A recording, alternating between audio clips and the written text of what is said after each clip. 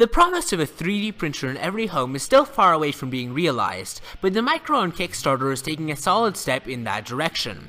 The printer's tagline calls it, quote, the first truly consumer 3D printer.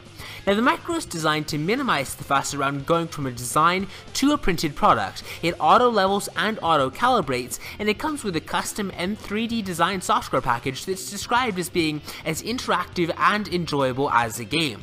Now the printer will also work with open source software for more advanced users. The printer itself is small, just over 7 inches. You won't use it to print a kayak, but you might use it to make a vase, or print out cat toys, or something else small like that.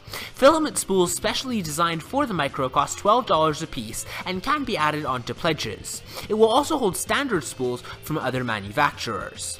But part of what makes the Micro so intriguing is its price tag. A $200 3D printer? Sign me up! That $199 early bird pledge level is long gone though. Backers showing up now to the Kickstarter page can get in with about a $299 pledge, and if that runs out, the next available level is $599.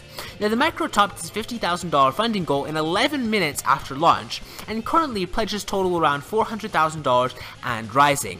The demand is there, people want to 3D print at home.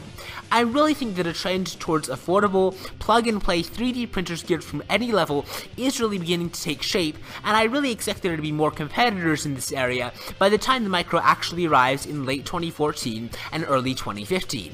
Now if the Micro delivers on all of its promises and can keep the price tag down post Kickstarter, people may even look back and see it as one of the milestones in bringing 3D printing to the masses.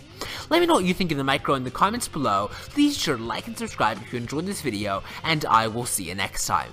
Bye!